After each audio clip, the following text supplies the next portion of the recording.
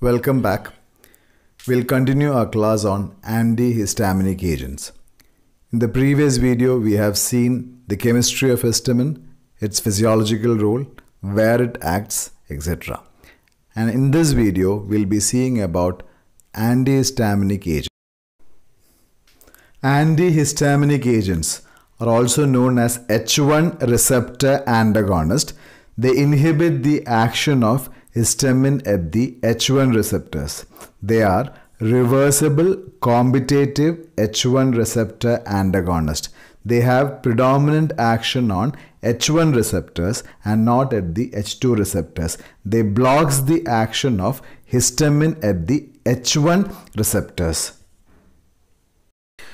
Now coming to the general uses of H1 antagonist or antihistamines, we know that histamine is the mediator of allergy. So antihistamines are used in the treatment of allergic conditions like urticaria, hay fever, asthma, rhinitis, etc. They also have sedative and antiemetic property and hence they are used in the treatment of motion sickness, vomiting, etc. And they are also used as antipruritic that is against itching. Now, antihistamines in general, depending upon the year of introduction, they can be classified into first generation antihistamines or older antihistamines and second generations or newer antihistamines. As per your syllabus, you have only first generation antihistamines and so we'll see the chemistry of first generation antihistamines. So before seeing the classification of first generation antihistamines, we'll see the general structure of first generation antihistamines. So what you see on the screen is the general structure of antihistamines, first generation antihistamines. So essentially all the antihistamines have three parts. One is a tertiary aliphatic amino group and then second one is the aromatic ring system connected by a connecting atom to the tertiary nitrogen atom through a ethyl side chain. The nitrogen atom, that is the aliphatic nitrogen atom or the amino group, is a tertiary one and usually it contains two methyl group, dimethyl group attached to a ethyl chain. So this this portion that is dimethyl dimethyl amino group is common to all the first generation antihistamines.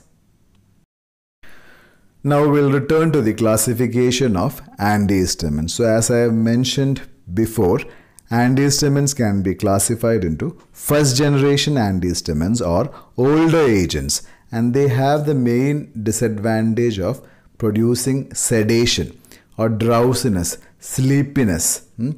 and hence newer agents or second generation antihistamines are developed and they are found to be less sedative. A common example for a second generation antihistamine is cetirizine not going to learn about the second generation antihistamines. Your syllabus has mentioned only the first generation antihistamine. So we'll see one of them. First we'll see the classification and then we'll see the chemistry of those agents one by one.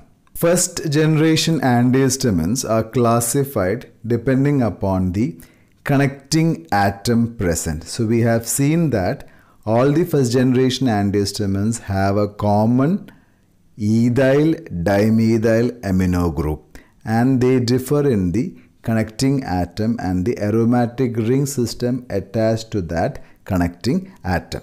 Okay, so depending upon the X you can have, we will get different classes of first generation antihistamines. Now, if the X is an oxygen atom, O, then you will get a ether derivative. Ethers have a general formula R O R dash. Okay, so you get a ether derivative. So you can you can classify, you can name this class of compound as amino alkyl ethers or as ethanol derivative CH2 CH2OH so ethanolamine derivatives. Example for this class of compound is diphenhydramine. A brand name common brand name of diphenhydramine is benadryl.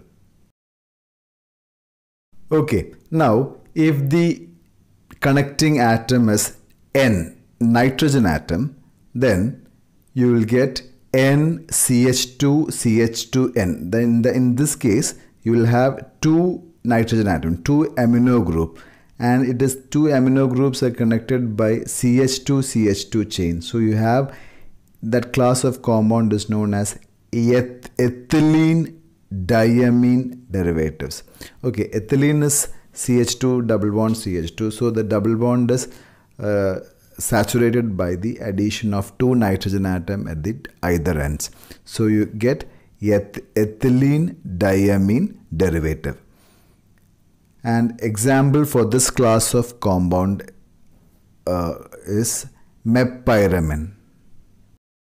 Next, if the connecting atom is a carbon, so you have one more carbon attached to the uh, ethyl chain. So it becomes a three carbon chain. Propyl chain is attached. So you have you will get a propyl amine derivative or you can call it as an alkyl amine derivative.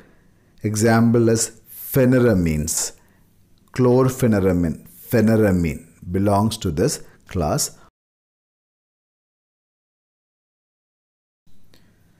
Okay in some cases the aromatic ring system attached at the connecting atom may be fused together or may be attached together as in the case of phenothiazines. In phenothiazines, two benzene rings are connected together by a sulfur atom and a nitrogen atom. And then the, at the nitrogen atom, uh, ethyl chain, di, ethyl chain containing a dimethyl amino group is attached. An example for a phenothiazine derivative is promethazine. So that is also another class. The fourth class of antihistaminic agent is phenothiazine derivatives. We'll see the summary of classification of antihistaminic agents. So first one was the amino alkyl ethers. Ethers have a general formula ROR. Example was diphenhydramine a brand name of one is one diphenhydramine is Benadryl. And then second one is ethylene diamine. So it contains NCH2CH2N. Example is mepyramine. Then third one is the alkylamines or propylamine derivative. That is more common. Pheniramine. Pheniramine, uh, the brand name is Avil, which is very common. Then chlorpheniramine. Seed syrup is there, cough syrup etc. And then the fourth one is a phenothiazine, example is promethazine, and the miscellaneous classes cyproheptadine. Okay, next we'll start with individual compound. The first class of compound is amino alkyl ethers. Example is diphenhydramine. So ethers have a general formula ROR dash. So here the two R attached to the oxygen atom is aliphatic. So you have an aliphatic ether. So if it is an aromatic ring attached to the oxygen atom, then you will get an aromatic ether. So the simplest ether is uh, if the two R group is methyl CH3O CH3 so you get dimethyl ether or else you can also name it as CH3O that stands for methoxy so methoxymethane and otherwise if one instead of one CH3 group if it is CH3 CH2O uh, CH3 then you get e methoxyethane. Okay so diphenhydramine is a methoxyethane derivative. That is a ethyl group is attached to one side of the oxygen atom and a methyl group is attached on the other side. So CH3O stands for methoxy. So methoxyethane. And the, at the other end of the ethyl, ethyl ring, ethyl chain, a nitrogen atom is attached so it is a amine so ethyl amine okay so dimethyl group is there attached to the nitrogen atom so dimethyl amino ethyl and then on the methane part ch3 part two aromatic ring phenyl ring is attached. So you have diphenyl ring attached to the methyl methyl carbon atom. So you have diphenyl methoxy. So the IUPAC name of diphenhydramine is 2-diphenyl. 2 stands for the second carbon of atom of the ethyl, uh, ethyl chain and then 2-diphenyl methoxy NN dimethyl ethyl amine diphenhydramine. Now coming to the uh, physical properties of diphenhydramine hydrochloride. Diphenhydramine is used in acids hydrochloride salt. So as you can see in the figure, it is a white crystalline odorless powder. The, the melting point of diphenhydramine is 168 degree and it is very soluble in water. The aqueous solution has a pH of about 4 to 6. It is freely soluble in chloroform and ethanol, uh, practically insoluble in ether. That's about the physical properties of diphenhydramine. Moving on, we'll see the chemical properties of diphenhydramine. Uh, to the aqueous solution of diphenhydramine, concentrated hydrochloric acid is added, an intense yellow color is formed. And when concentrated nitric acid is added to it, the yellow color changes to red. Then the mixture is cooled, mixed with water and chloroform is added and shaken.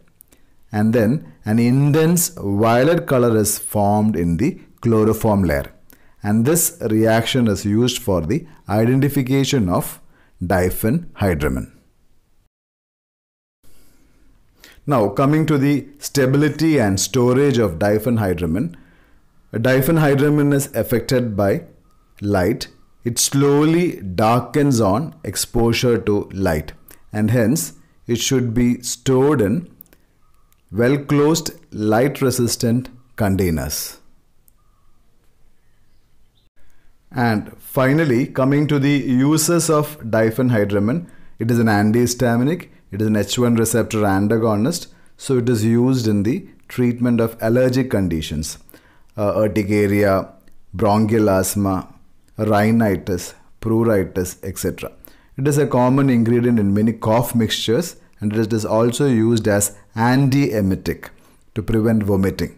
It can also be used to treat symptoms of Parkinsonism, etc. And the the main disadvantage it is a first generation antihistamine so it is uh, the side effect is a sedation it produces sedation and drowsiness if you check the label of those drugs containing this diphenhydramine you can see that a warning is given it, it can cause sedation so use with caution when driving or when working with the machinery So that's all about diphenhydramine. We'll see other drugs in the next video. Thank you.